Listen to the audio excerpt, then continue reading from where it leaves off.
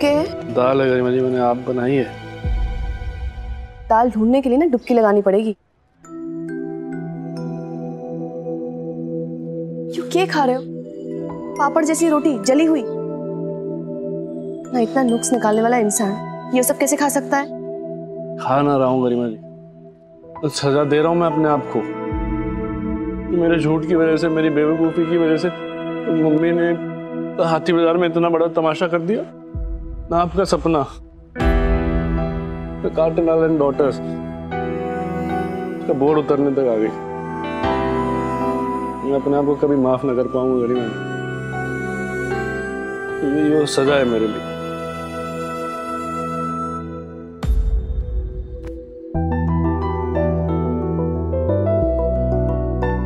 कोई बात नहीं। मैं समझ सकती हूँ।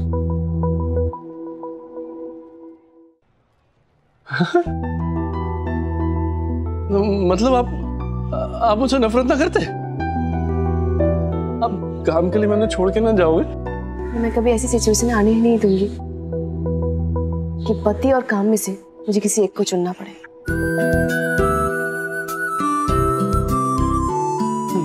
गरिमा जी क्या सोच रखा है आपने। क्या चल रहा है आपके दिमाग में। गरिमा से क्या करने वाले हो आप?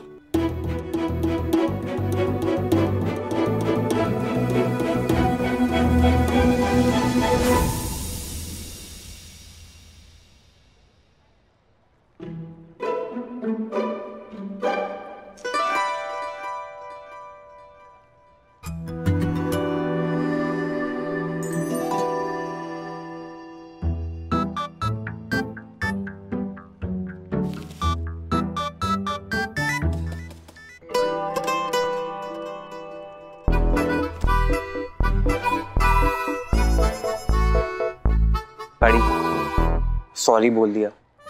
गिफ्ट भी दे दिया। तुम कहो तो मैं रोड के साइड में हाथ ऊपर करके खड़ा हो जाता हूँ। हाँ थोड़े आर्म्स पेन करेंगे। आने जाने वाले लोग भी ये सोचेंगे कौन उल्लू है? You know what I am really sorry कि काटेलाल एंड डॉटर्स का बोर्ड उतरने तक बात पहुँच गई।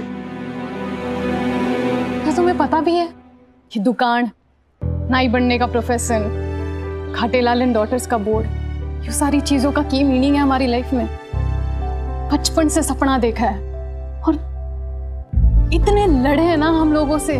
मार कुटाई की है। यहाँ तक छोरे भी बन चुके थे हम दुकान चलाने के लिए। इतने पापड़ बेले ना यहाँ तक पहुँचने के लिए मैं तुम्हें बता भी ना सकती। पर तुम कैसे समझोगे? हमारा तो कोई ड्रीम ही ना है। आई एम रियली सॉरी कि मेरे डैड की वजह से ये सिचुएशन क्रिएट हो गई। ना इतना ही अगर दिल जल रहा है ना तुम्हारा मेरे लिए तो पूछो ना अपने डैड से क्या प्रॉब्लम है उनको मेरे से। मैंने डैड से पूछा है। उनके पास कोई जवाब ही नहीं अदर देन हम रॉयल है। और इस बार डैड इतना स्ट्रेंज बिहेव कर रहे हैं कि मुझे कुछ समझ नहीं आ रहा है। ऐसा नहीं है कि घर में पहले कभी चोरियाँ नहीं हुई है। और किसी ना किसी मेड पर इल्ज़ाम आया है। लेकिन पुलिस कंप्लेन कभी नहीं की है। You know there something fishy है। ना एक प्रॉब्लम तो मैं जान ही चुकी हूँ उनकी। तुमने उन्हें बिना बताए अपने पसंद की छोरी से शादी कर ली। शायद यही प्रॉब्लम है उनकी। No I don't think so मुझे नहीं लगता ये प्रॉब्लम है। डैड ने मुझे किसी भी चीज़ के लिए मना नहीं किया है। इंस्पाइट द फैक्ट कि मैं उनका असली बेटा नहीं हूँ। वो ओमी से ज़्यादा मुझसे प्यार करते हैं या?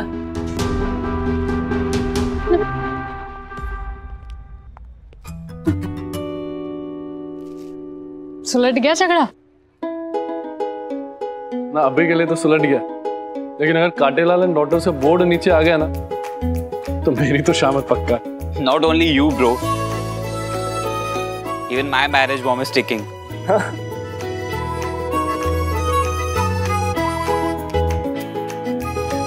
ऐसा कुछ ना होगा। बोर्ड वही रहेगा।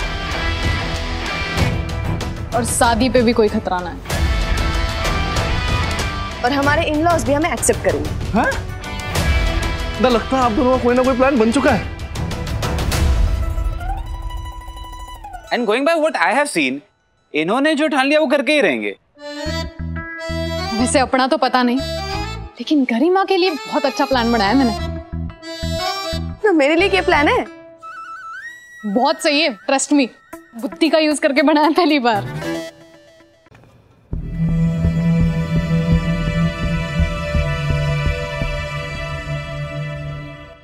डैड डैड आपसे एक बात करनी थी but please please don't feel bad बोलो बोलो बोलो मैडी बोलो। क्या बात है?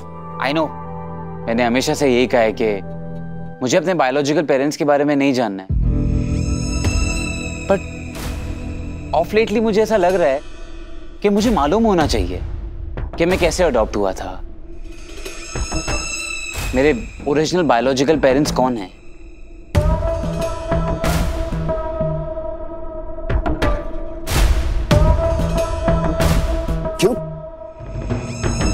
अचानक ये बात कहाँ से आ गई? बिकॉज़ uh, अब मैं अकेला नहीं हूँ ना dad I mean I am a married man oh अच्छा अच्छा अच्छा अच्छा। तो ये सवाल तुम्हारे मन में नहीं उस सुशीला के मन में उठ रहे हैं। वो खोद खोद कर जानना चाहती है है ना? इसीलिए मैं कहता हूँ मैडी इसीलिए कहता हूँ कि औरतें जो हैं इनसे बचकर रहना चाहिए ये घर परिवार के लिए ठीक नहीं होती हैं तुझे मैरिज नहीं करनी चाहिए थी बेटा इनफैक्ट मैं तो ये कहता हूँ कि कांटे लाल एंड डॉटर्स का बोर्ड उतरे या ना उतरे तू इस घर तोड़ने वाली सुशीला से पीछा छुड़ा ले Dad, Dad, Dad. Don't you think you're being a little too harsh with Sushila? She's a good girl, Dad. मैं तो आप दोनों के बीच में जो भी मिसअंडरस्टैंडिंग है वो क्लियर करना चाहता हूँ। मैं चाहता हूँ कि मैं आपको जितनी रिस्पेक्ट देता हूँ सुशीला भी आपको उतनी respect they dad and these are just some simple basic question जो सुशीला के मन में आए हैं। सुशीला ये सब जानना चाहती है कि मैं कौन हूँ? मुझे आपने कब और कैसे अडॉप्ट किया था? मेरे ओरिजिनल बायोलॉजिकल पेरेंट्स कौन है? उनकी डेथ कैसे हुई थी? That, as I said, these are just some simple basic questions. And I think किसी भी लड़की को अपने हस्बैंड के बारे में इतनी क्यूरियोसिटी तो होगी ना दैड आई डोंट थिंक हमें ये सब इंफॉर्मेशन शेयर करने में कोई प्रॉब्लम होनी चाहिए। व्हाट्स इट कोई प्रॉब्लम नहीं। मुझे तुम्हारे सवालों का जवाब देने में कोई प्रॉब्लम नहीं। प्रॉब्लम इस बात से है कि तुम्हारे दिमाग में यह सवाल उस लड़की के आने के बाद उठे हैं। बात तो तब होती। जब मुझसे सवाल पूछने के बजाय तुम लड़की से कहते कि नहीं, मुझे अपने डैड से कुछ नहीं पूछना। एग्जैक्टली डैड एग्जैक्टली मैंने उसे यही कहा। लेकिन फिर एक मिनट। लेकिन डैड फिर उसने मुझे ये फ़ाइल दी।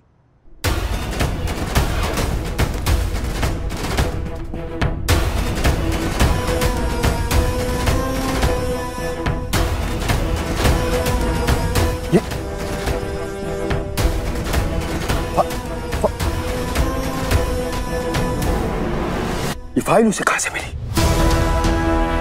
क्या बोली इसे देखने के बाद और और तूने उसकी बातों बिलीव तो नहीं किया ना? I mean she can be lying one sec one sec one sec इसमें बिलीव नहीं करने वाली बात क्या है? आई I मीन mean, इस फ़ाइल को देखने के बाद मेरे मन में कुछ क्वेश्चंस पॉप अप हुए जिनका आंसर्स मेरे पास नहीं है। इसलिए मैं आपसे पूछ रहा हूँ dad what is the real story ये सब ये सब किसकी प्रॉपर्टी है? और आपके पास कैसे आई? तो अभी तक कुछ कंप्लीट पता नहीं चला है उसे। हे बेटा कोई भी रियल या फेक स्टोरी नहीं है। ये प्रॉपर्टी किसकी थी? मेरे पास कैसे आई? ये सब जानने की तुम्हें कोई ज़रूरत नहीं है। मैंने पहले भी तुम्हें कहा था। एक बार फिर से दोहरा देता हूँ कि तुम्हें और ओमी को ये पैसे बिज़नेस मनी मैटर्स इसमें पढ़ने की कोई ज़रूरत नहीं है। भाई बेटा, तुम दोनों के खेलने कूदने के दिन है। खाओ, पियो, मज़े करो, ऐश करो। एंजॉय योर लाइफ ये सब हेडेक लेने के लिए मैं हूँ ना। डैड सुशीला को ऐसा लग रहा है कि आप कुछ छुपा रहे हैं। इस दो टके की नाई को क्या लगता है? इससे मुझे कोई फ़र्क नहीं पड़ता है। Is not my family understand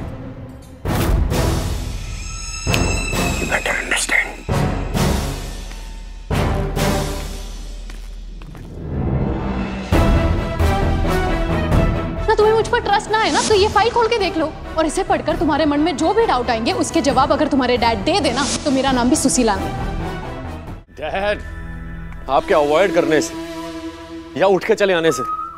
आपको लगता है मैडी के दिमाग से सवाल निकल जाएँगे? नहीं डैड नहीं।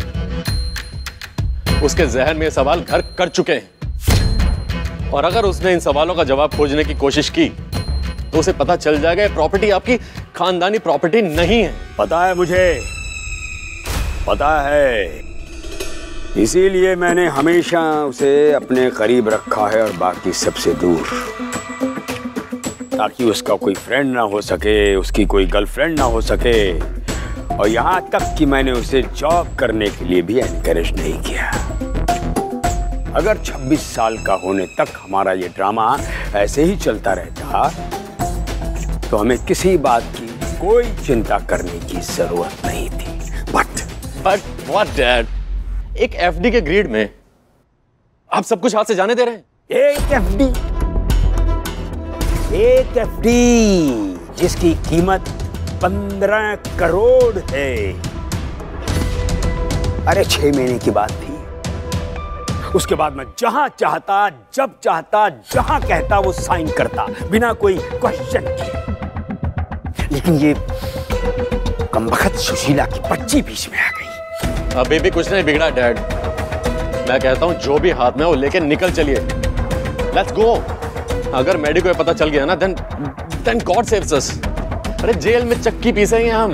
अपने हाथ आए शिकार को इतनी आसानी से जाने देना मेरी फितरत नहीं है, ओमी।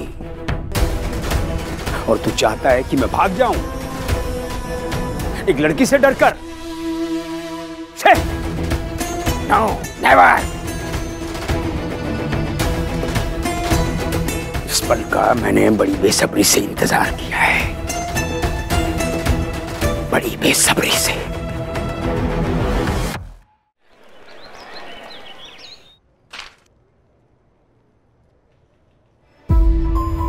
ना, रोहतक का एक भी अनाथ आश्रम ऐसा ना है जिसमें दाखिल होने वाले बच्चों की एंट्री हमारे पास ना हो। और उनमें से भी कोई बच्चा अगर कभी भी किसी ने भी गोद लिया हो तो उसका सर्टिफिकेट भी हमारे ऑफ़िस से जारी होता है। लेकिन मैं जो पूछ रहा हूँ आपसे, उससे रिलेटेड इंफॉर्मेशन मिली आपको? ना। जो वक्त आप बता रहे हो ना, और जो उम्र आप बता रहे हो, ऐसी कोई एंट्री हमारे रजिस्टर में ना है और ना ही कोई बच्चा उस वक्त अडप्ट हुआ है।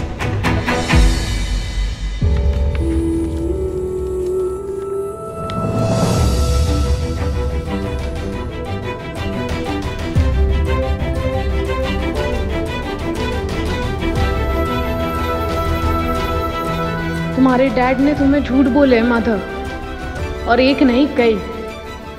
इस फ़ाइल में तुम्हें सब झूठों के हिसाब मिल जाएँगे।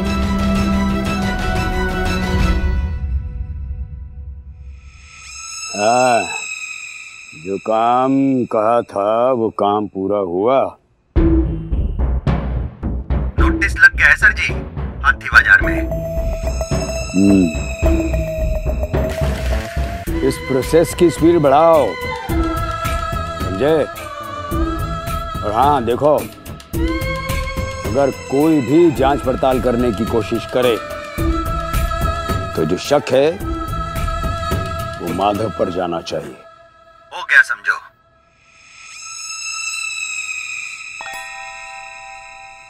लो बेटा।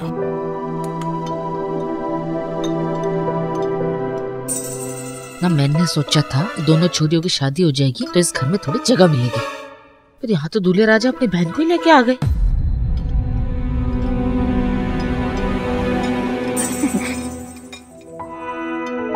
रोटी।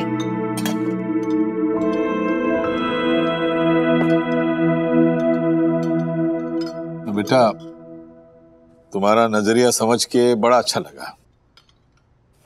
नई पीढ़ी की सोच ही अच्छी है। मैं शुक्रगुजार हूँ कि तुम दोनों ने मेरी बेटी का साथ दिया है। पर बेटा परिवार से अलग रहने में क्या दिलेरी है? किसी को खुशी ना मिलती उसमें। और माँ का दिल दुखा के तो बिल्कुल भी ना मिल सकती। ना ना धर्मपाल जी मैं आपकी बात मानता हूँ। लेकिन मैं अपनी मम्मी को तब से जानता हूँ जब से मैं इस धरती पर आया हूँ। ना बिल्कुल अंगत की तरह है। वो एक बार जिद में उन्होंने अपने पैर गड़ा दिए ना तो फिर उनको कोई ना हिला सकता। ना उनकी जिद तोड़ने का ना धर्मपाल जी यही एक तरीका है। जो मैंने किया, बिल्कुल सही किया। ना मेरी बात मान लो धर्मपाल जी।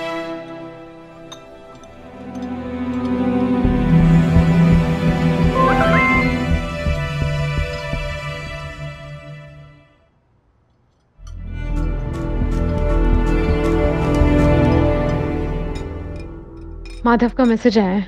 घर के बाहर मिलने के लिए कह रहा है। कुछ अर्जेंट दिखे है। तो यहाँ संभाल, मैं देख के आती।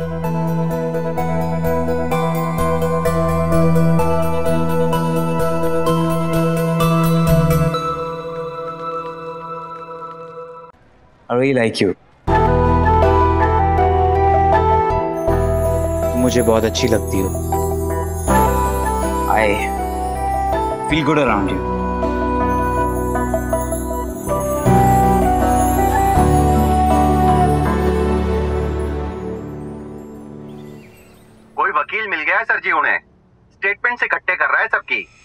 stay order लेने जाएँगे ना कोर्ट में?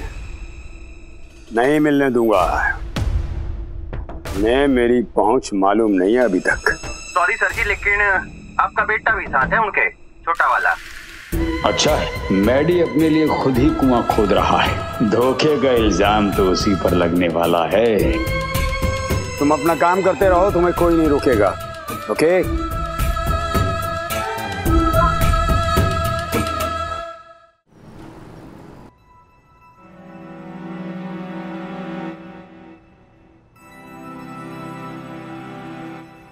गरिमा जी के लिए इस घर में कोई जगह ना है तो मैं भी यूँ घर छोड़कर जा रहा हूँ मम्मी जी।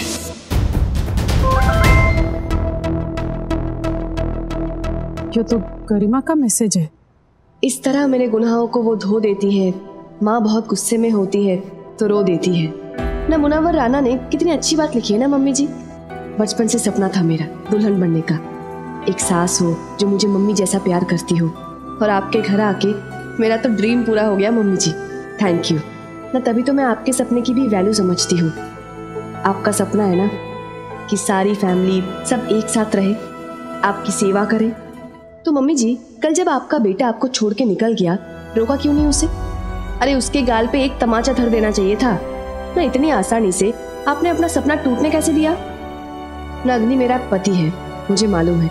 उसने जो भी किया है, मेरे लिए किया, पर आपका हक उस पर मेरे से ज़्यादा है।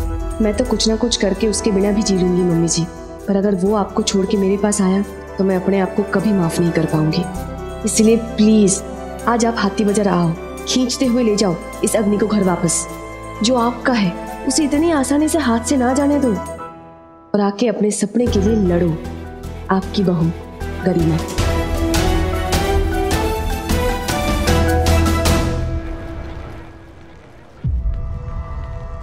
जी यो नोटिस बारह नंबर टेबल पे पता कीजिए।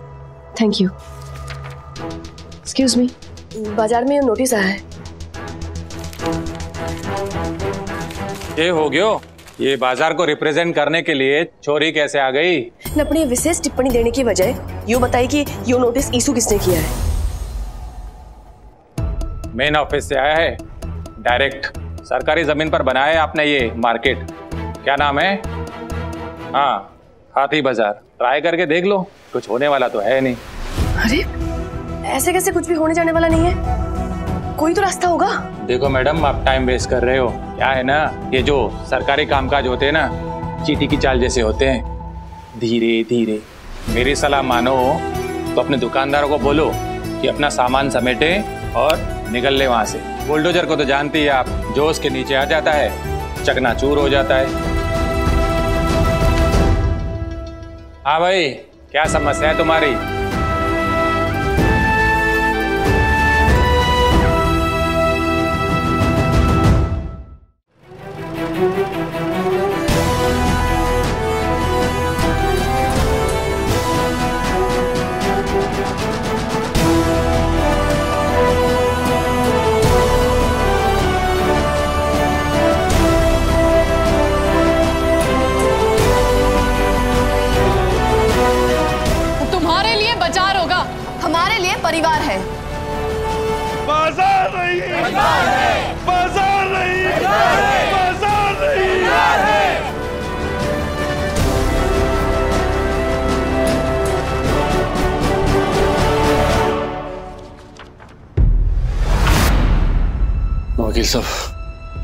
हाथी बाज़ार में तो रोला पड़ गया होगा।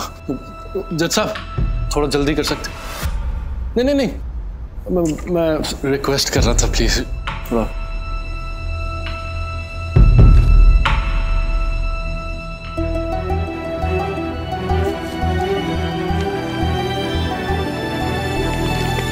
आगे बढ़ो सर आपको नहीं लगता लाठी चार्ज करा के आप गलती कर रहे हैं? ये लोग शांति पूर्वक सत्याग्रह कर रहे हैं। न साइड में होले पत्रकार और मन ने मेरा काम करने दे। ना हम तो बस अपना काम कर रहे हैं। जिस जगह के लिए सालों से टैक्स दे रहे हैं उसी जगह को बचाने की कोशिश कर रहे हैं। और इस बात को प्रूव करने के लिए डॉक्यूमेंट्स है हमारे पास। आपके पास ऐसे कौन से डॉक्यूमेंट्स हैं जिसकी मदद से आप हाथी बाज़ार को तोड़ने की ट्राई कर रहे हो? ऐसे कौन से डॉक्यूमेंट में लिखा है कि हाथी बाज़ार गैर कानूनी है? बस कुछ अमीर लोग अपनी उंगलियों पे पूरी दुनिया को नचाने की कोशिश कर रहे हैं। पर अब हम ऐसा होने ना देंगे। वो राजा महाराजों का टेम गया जब एक इंसान सारे फैसले करता था। यो प्रजातंत्र है और हमें हमारे हक के लिए लड़ने का पूरा हक है। और हम लड़ेंगे। चाहे उसके लिए हमारी जान ही क्यों ना चली जाए। और हम लड़ेंगे चाहे हमारी जान चली जाए। ये बियो डिक्टेटरशिप नहीं चलेगी। कि आपको जो करना हो वो करे और हम सिर झुकाए खड़े रहे बस चुपचाप सुनते रहे।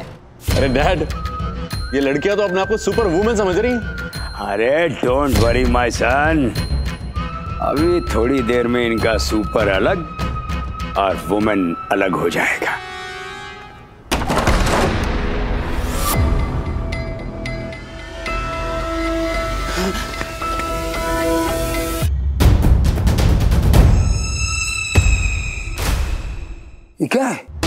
ऐसे दरवाज़ा क्यों पटका तूने है? जब तो डंडे पड़ेंगे ना सारा सत्याग्रह निकल जाएगा। आगे बढ़ो। साफ़ करो मैदान। ये ये। मारो मारो ही ना मारो। लाठी चार्ज करो।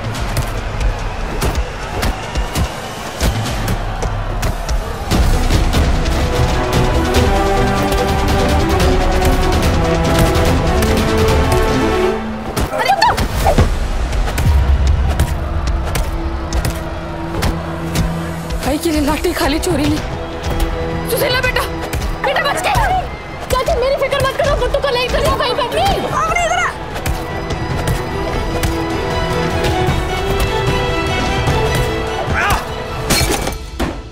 अरे ये क्या किया? ये भी तोड़ दिया तूने।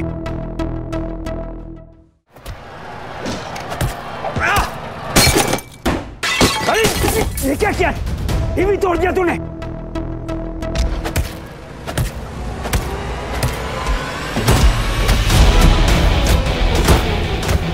यहाँ खतरा है आप लोग जाइए यहाँ से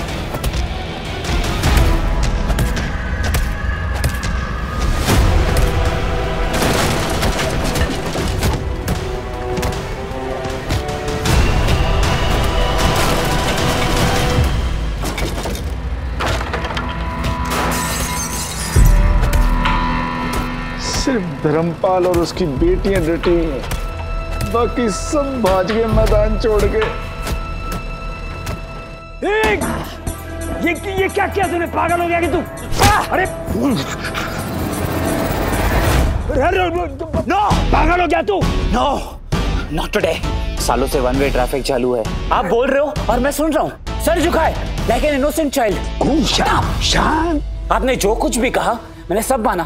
कोई भी क्वेश्चन नहीं किए। बेटा। इनफ इज़ इनफ बाप हूँ मैं तेरा। आप बाप के नाम पे कलंक है। और वहाँ मेरी वाइफ सुशीला भाई वे जिसे मैं बहुत बहुत ज़्यादा प्यार करता हूँ वहाँ सड़क पे है उसे चोट लगी है। मेरे भाई क्या कर रहा है तू? You. आपकी वजह से सिर्फ़ सिर्फ़ आपकी वजह से। मम्मी बेटा पीछे ही रहे नहीं तो कहते हैं ना आटे के साथ गुण भी पिस जाता है। आपने आज तक मेरे नाम पे ऐश किया फाइन नो प्रॉब्लम लेकिन आज आज आपने अपनी गंदी हरकत मेरे नाम पे लगाने की कोशिश की। ताकि आपको क्लीन चिट मिल जाए। कमान कमान जो स्ट्रिंग्स पुल करके आपने ये केस किया है वही स्ट्रिंग्स पुल करके इस केस को रिजॉल्व कीजिए। अभी के अभी। हाथी बाज़ार के इलीगल होने का झूठा क्लेम वापस लीजिए आप। मैं नहीं चाहता कोई एक मिनट के लिए भी और परेशान हो। अदरवाइज़ मैं आज आपको जेल भिजवा दूँगा। शांत शांत। Cool cool cool For more updates, subscribe to our channel, click the show links and enjoy watching the videos.